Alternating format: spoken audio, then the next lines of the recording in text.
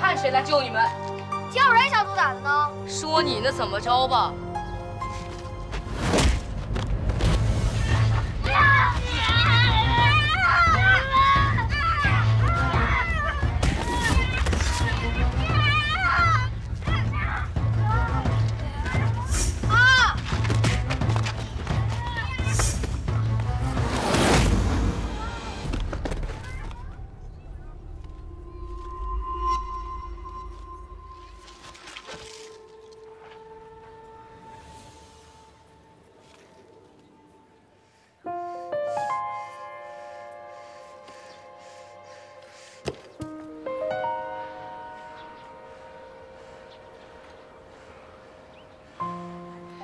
镇上，你看清楚没有？他真的死了？我也不知道，好像可能是晕了。你怎么知道他晕了？我老家有个姨，一看见血就会晕。那家伙头不是打破了吗？顺着脖梗再往下流血。那他是男的，你姨是女的，男的不怕血啊？听大人说那是一种病。男女都能得，那叫什么？晕血？血晕？那你姨晕血的时候啥样？我也不知道，只是听大人说。唉。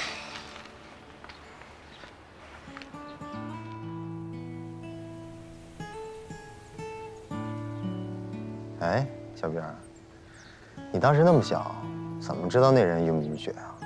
我哪知道？那是我害怕胡编的。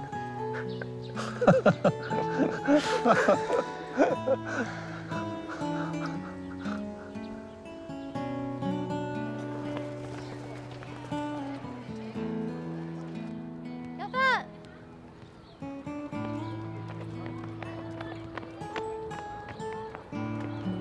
让我给齐占上。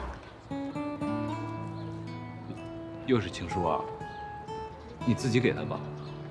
我给他，他不接。你们俩是死党，他只信你杨帆的，你就帮我给他吧，我一定会报答你的。谢谢啊。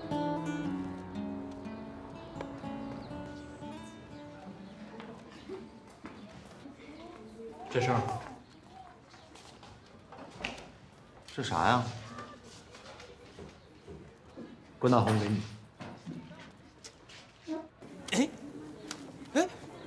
不让我们看，一定是情书，对不对？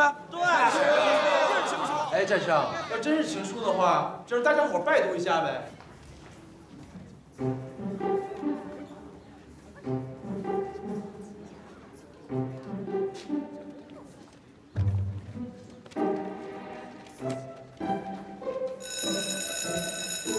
你们看什么？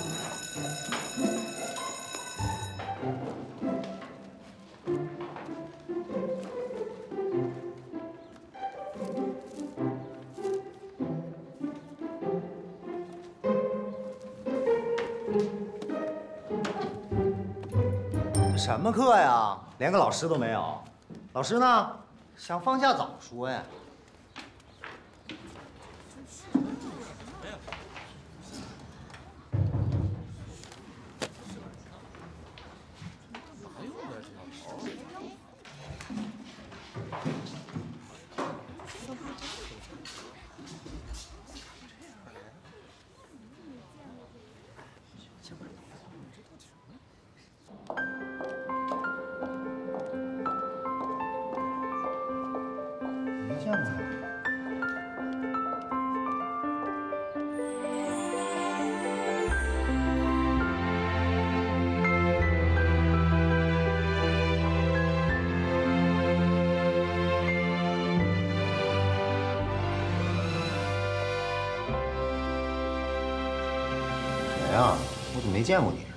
几位同学，请回到自己座位上。你是老师，我怎么看着不像啊？那老师应该长什么样啊？反正我就觉得不像。上课了，上课了，上课了，上课了，上课。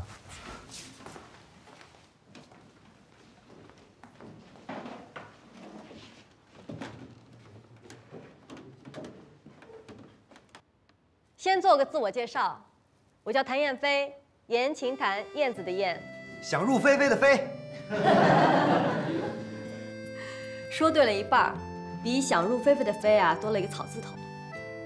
老师，您您是新来的吧？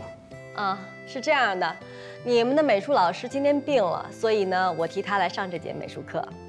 老师，那老头是谁呀？怎么头上长俩犄角啊？这也是我今天上课的第一个问题，有谁知道他是谁？伽利略。嗯，是有点像，不过不是。菲菲老师，我觉着这老头像我姥爷。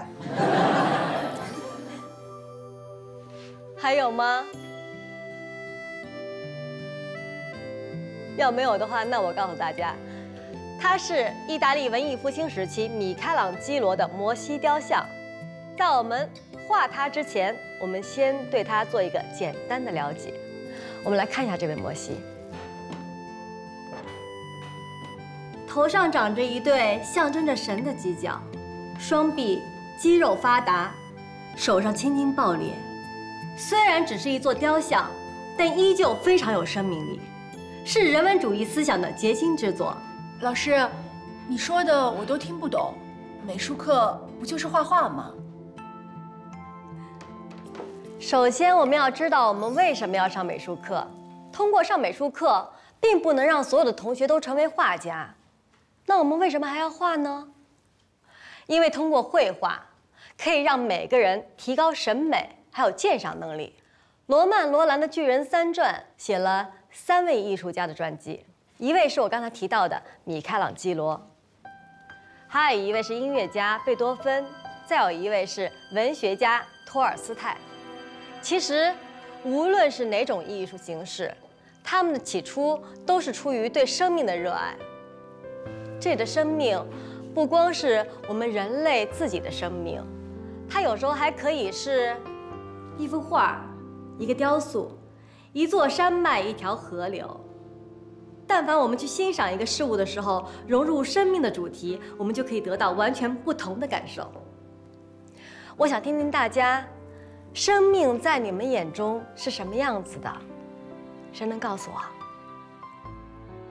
老师，我们家后面的湖飞来了六只天鹅，胆儿特别小。不错，坐下吧。还有吗？啊，小美。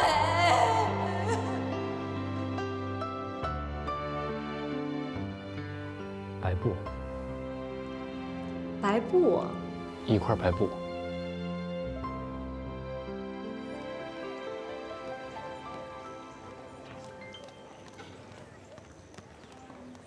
老师，哎，有事儿啊？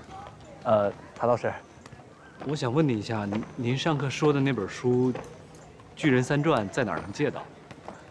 你喜欢外国文学？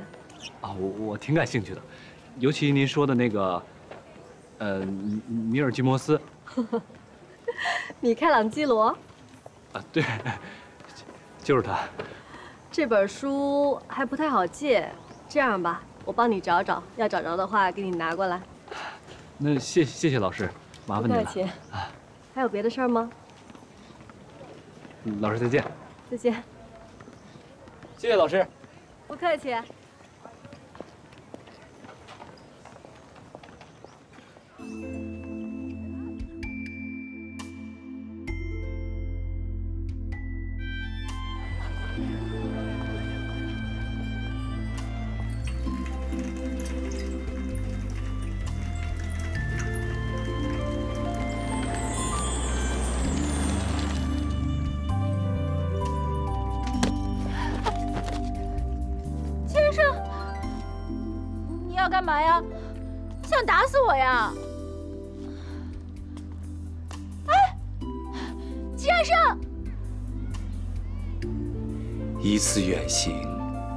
便足以憔悴一颗羸弱的心。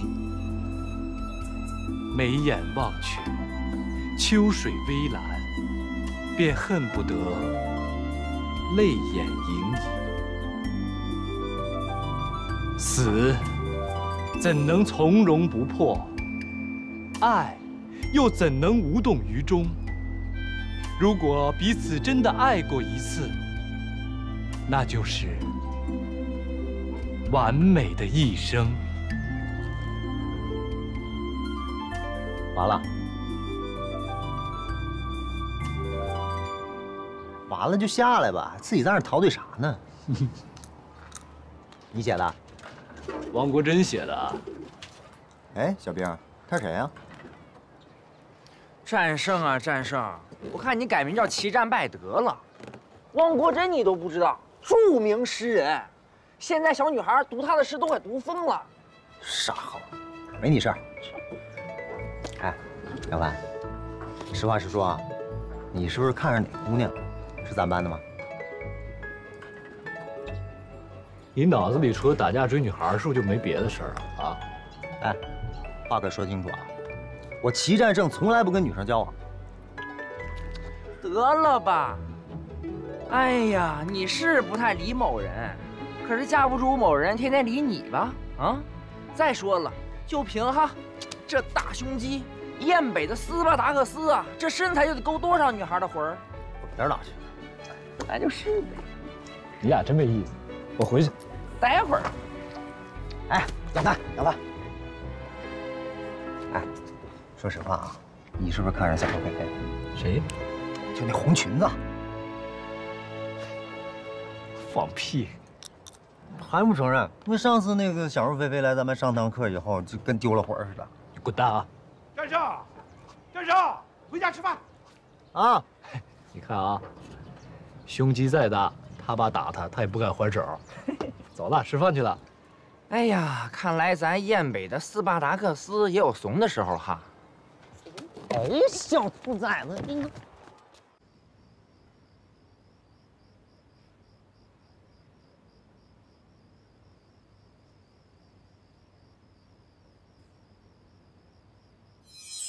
我叫谭燕飞，言情谭，燕子的燕。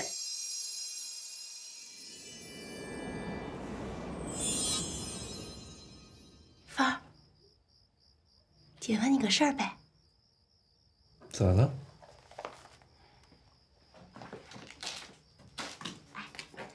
你觉不觉得咱妈最近有点奇怪？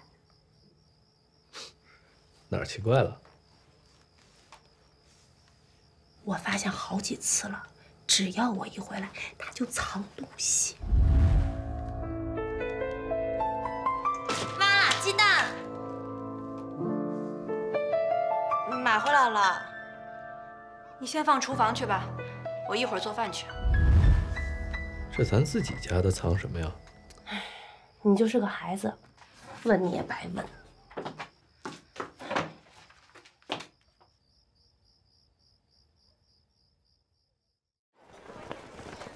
起立。老师好。同学们好，请坐。同学们，给大家介绍一位新同学，来进来吧。这是咱们班新转来的同学文小雅。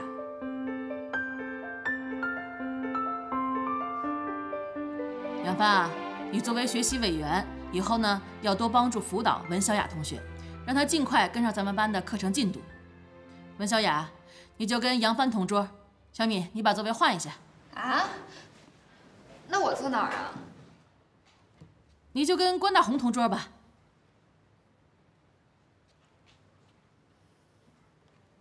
文小雅，你坐那儿吧。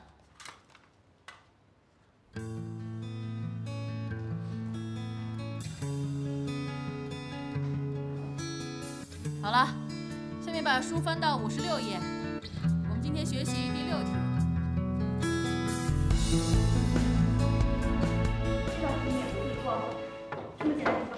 进来，跟我走。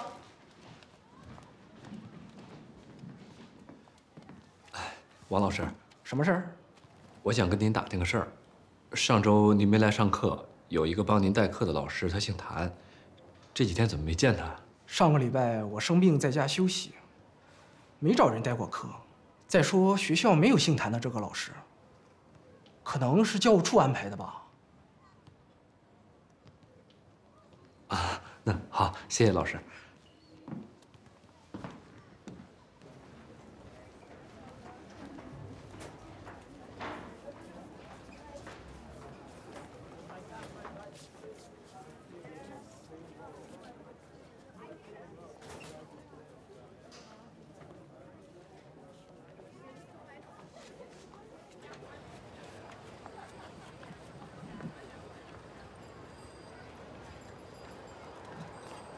哎，师傅，谁找我呀？哦，人走了，给你留个纸条。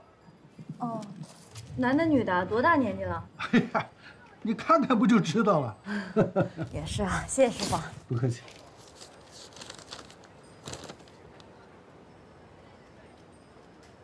叶飞，啊，怎么了？愁眉苦脸的。他来了。谁？家你找那男朋友？真的？看一下，我看一下，我看。我就是想看看他字写的漂不漂亮。当我们大才女的男朋友，肯定不是一般人。怎么啦？真是生气啦？好了好了，我不说了不说了。就晚了那么一会儿，他就走了，什么人啊？你帮我请个假，我要去找他。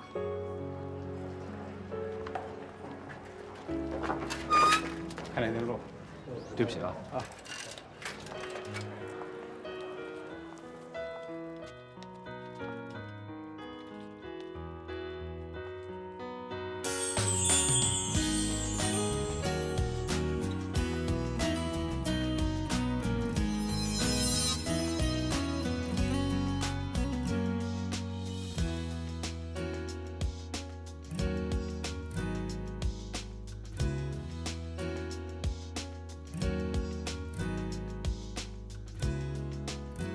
人才断层问题不解决，再好的利益，也将沦为空谈呐。李老高屋建瓴，看问题真是一针见血。建平，什么时候来的？啊，刚过来，我正跟服务员打听你的房号呢。啊，建平啊，你还约了客人？哦，我给您介绍一下，这位是我的女朋友小谭，谭燕飞。燕飞。这位是李老，是我们系统内德高望重的老专家。李老您好。你好，建平啊，本来想和你多聊聊，既然我就不打扰你们了。哎，李老您慢走。哎，好嘞。再见啊。哎。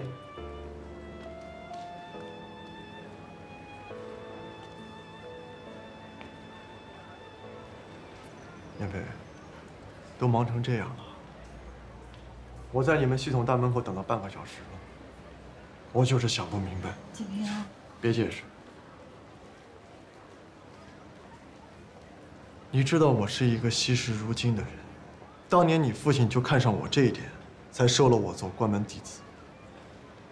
建平，我是真不知道你过来，你也没提前告诉我。我要知道你过来，那好吧，这次算你无心之失。下。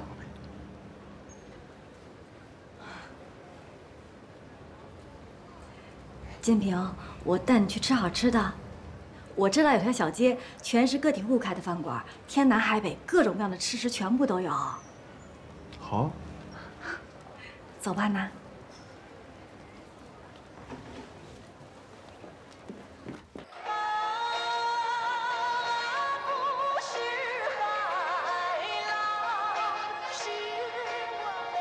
百合蛋吗？邓丽君的最新歌曲《宝丽金》的。哎。这首叫什么呀？邓丽君的《海月》。来看一下，谢谢啊。这是下里巴人。叶飞，你怎么喜欢这种靡靡之音啊？你在家只听样板戏吧？不是你说什么，小哎，不好意思啊，吃饭去了。走走，吃饭去了。你到到底想吃什么样的呀？耶，那儿有家新开的，不怕你能吃，就怕你吃不动。开业大吉，六折优惠，哎，试试去。走。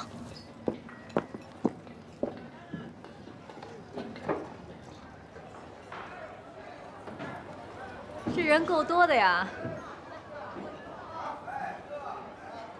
哎，不过有人告诉我，选餐馆啊就得选人多的，要不然就是菜品好，要不然就是价格实惠。就在这儿吧。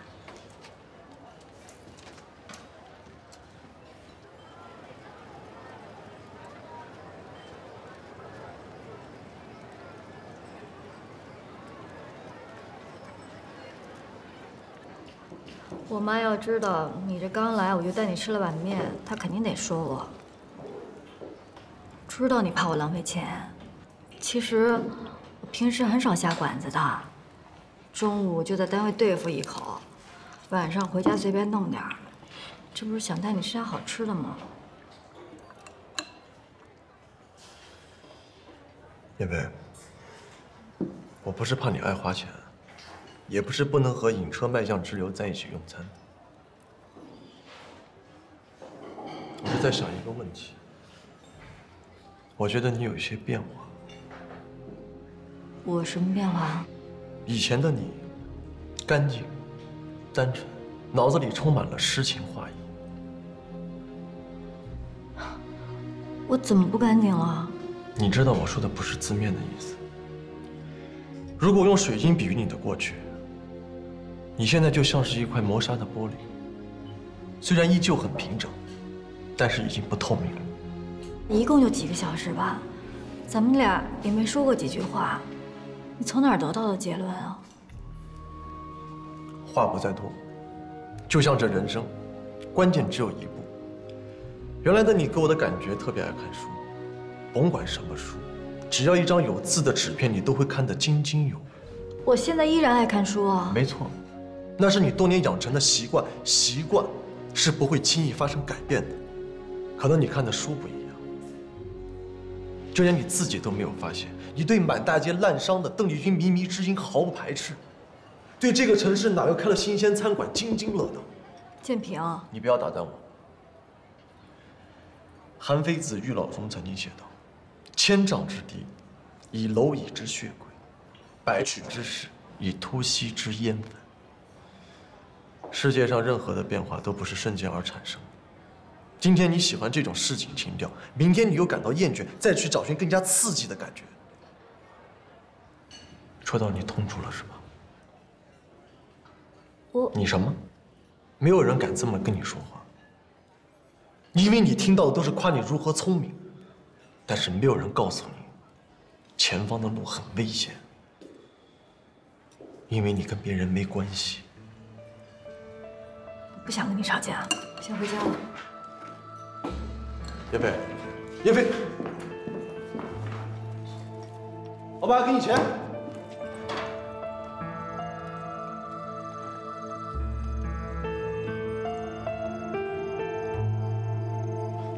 叶飞，叶飞，难道你不觉得我说话很有道理吗？俗话说得好，良药苦口。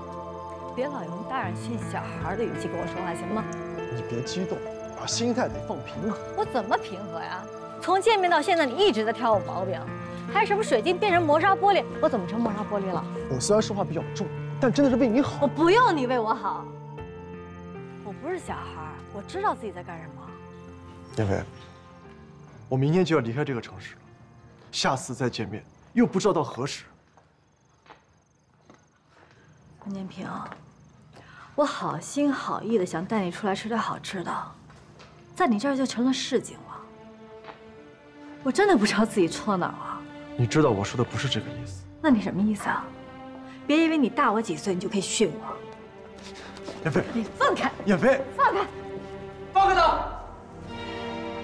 放开！放开！我让你放开他！你谁啊？谭老师，他是不是欺负你？燕飞，他谁啊？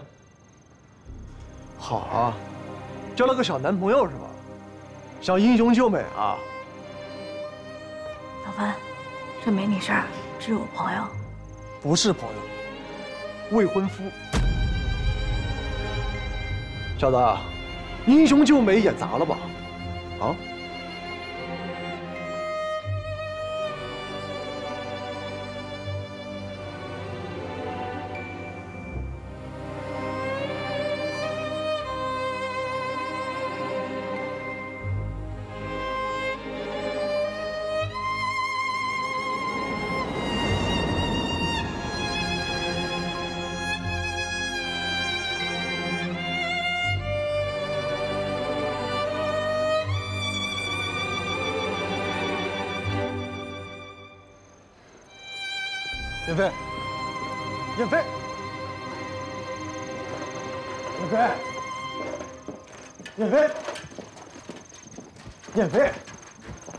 燕飞，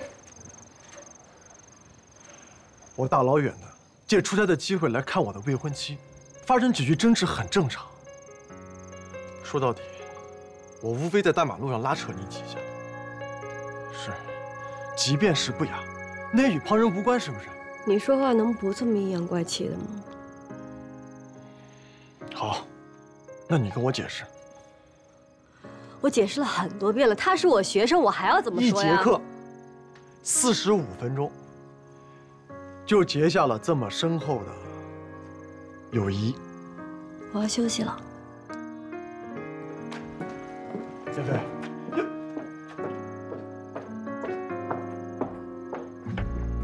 其实你不必对我说，把剩下的时间给我。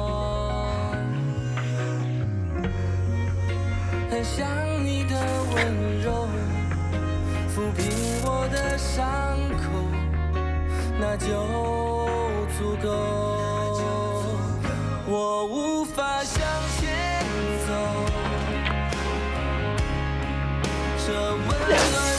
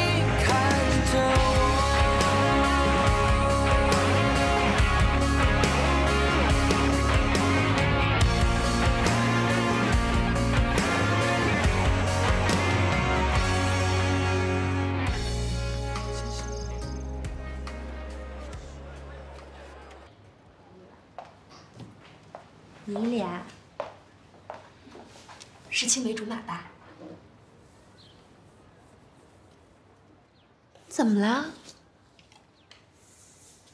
不会是你不同意被家里逼婚吧？逼婚倒是算不上，但我总觉得这人挺古怪的。古怪？这古怪不太好听啊，改个好听点的。算是有个性吧。我觉得人有个性倒没什么，关键是他老想让我调他那边去。还让你调到县里？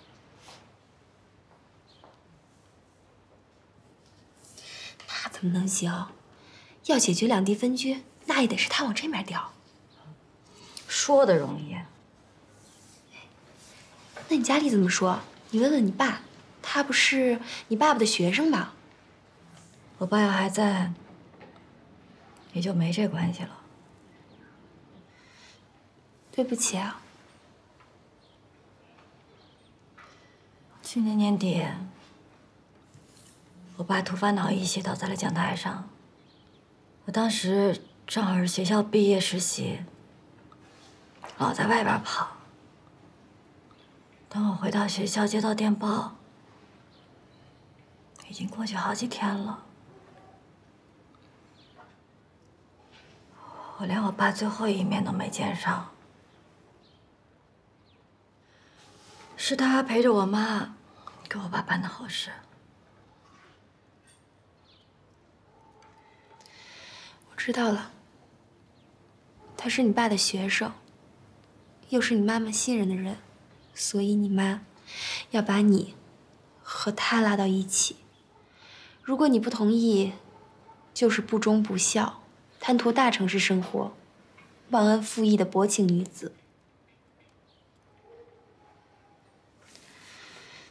那你接下来打算怎么办？我也不知道。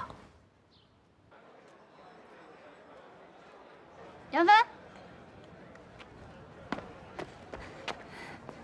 我正好找你呢，去我家吧。走吧，我正好有道题不会做，本来想明天问你，正好碰到你，那就今天吧。这道题可以这么解。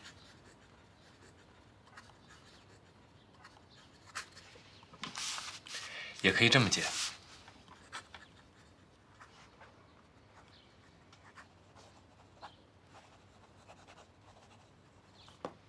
那杨帆，你真聪明，我就没有想到这样的解法。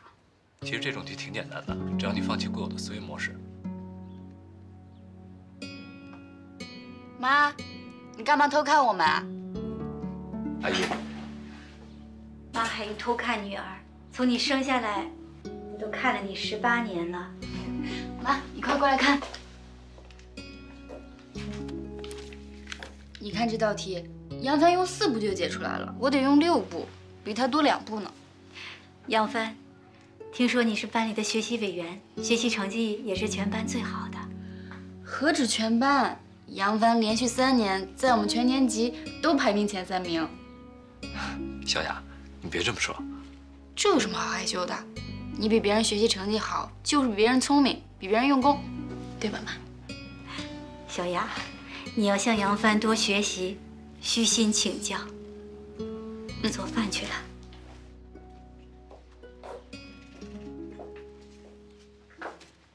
小雅，嗯，你跟你妈说话这么随便啊？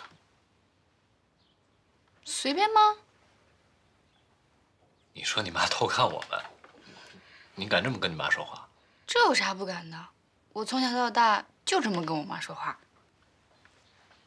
真好，我要是有这样的妈就好了。哎，那你爸什么样啊？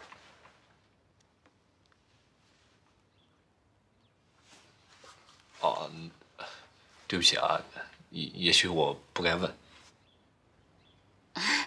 没事儿，我很小的时候我爸就走了，我现在都不记得我爸长什么样了。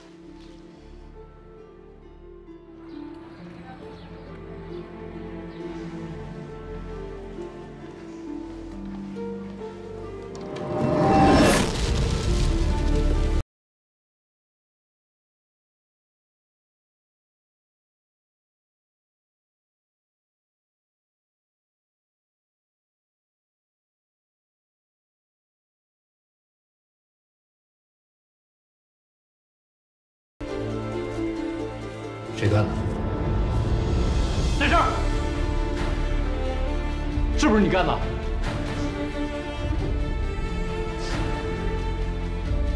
我问你是不是你干的？撒开！杨帆，从小到大都是我替你跟着打架，你觉得你能打得过我？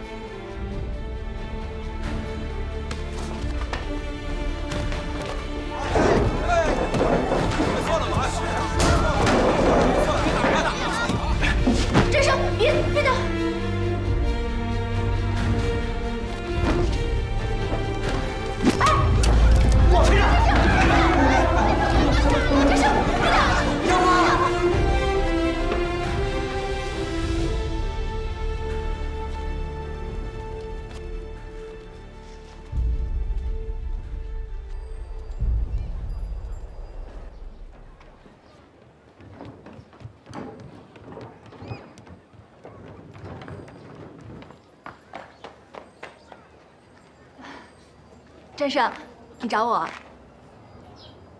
干嘛呀？脸拉那么长，什么事儿啊？是不是你干的？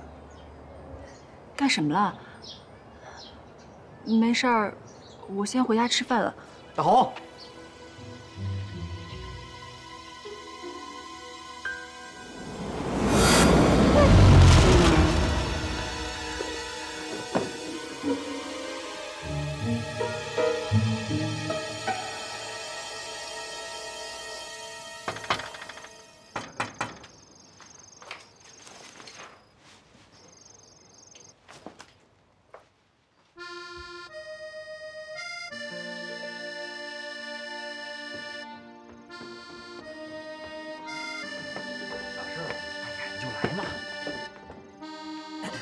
战胜，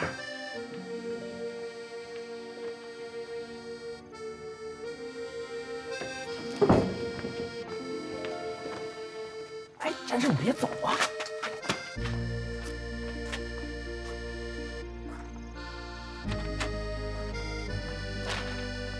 怎么好好的就变成这样了呢？你跟战胜从小就出生在这个院里，好事坏事都一起干，怎么说掰就掰了呢？杨帆，在咱燕北，我就你和战胜两个好朋友。我曾经想过，我这辈子啊跟谁都可以翻脸，但就是不能跟你俩。尤其是你，杨帆，你是我王小兵这辈子都认的好朋友。你就说嘛，到底是因为什么？哎呀这齐战胜，他一决定，我都知道他要拉什么屎。什么屎啊？臭狗屎啊！可臭可臭的臭狗屎。那他为什么要拉臭狗屎呢？他喜欢文小雅。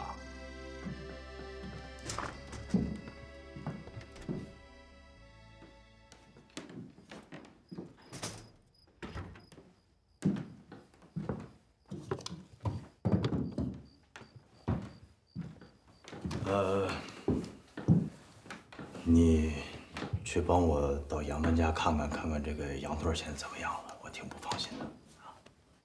不去。嘿，你小子长本事了，敢跟小叔顶嘴是不是？你想看谁，你自己去看呗。那废话，那杨家门槛那么高，我迈得进去吗？我要进得去，我还找你啊。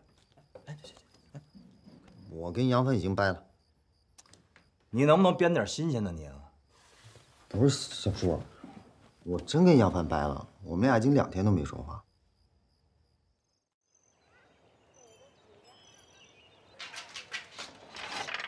哎小兵，小兵，小兵，过来，过来。姐，你找我呀？小兵，你帮姐一忙呗。你说。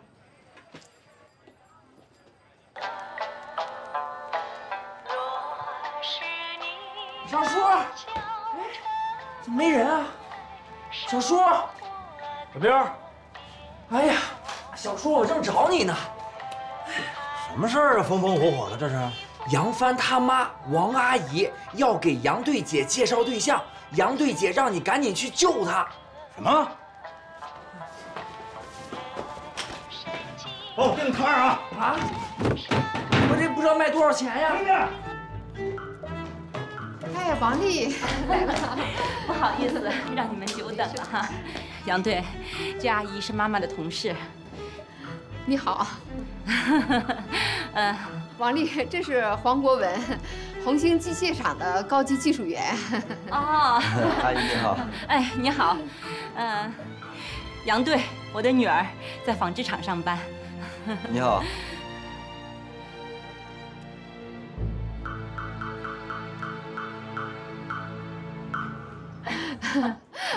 来来来，大家先坐下。是不是走累了？大家都饿了，要不咱先点菜吧，边吃边聊。行，那咱们就边吃边聊。服务员，干什么？干什么你？记住了，我叫齐卫国啊。哎，齐卫国，哎，齐卫国，你怎么打人呢你？王丽，这谁呀？简直疯了！看什么呀？吃你们的！都给我听好了啊！杨队是我女朋友，以后谁敢再给她介绍什么对象，别怪我翻脸啊！走了。杨队，杨队。